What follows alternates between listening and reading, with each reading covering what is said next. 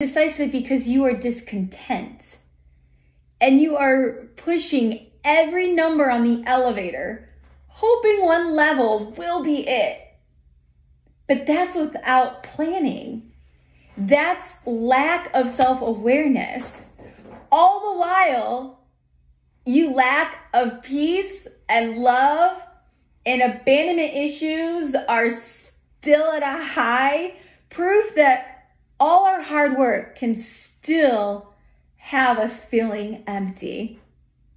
Know where you are at and where you are going, or you will spend years wasting time riding that elevator and missing the blessing.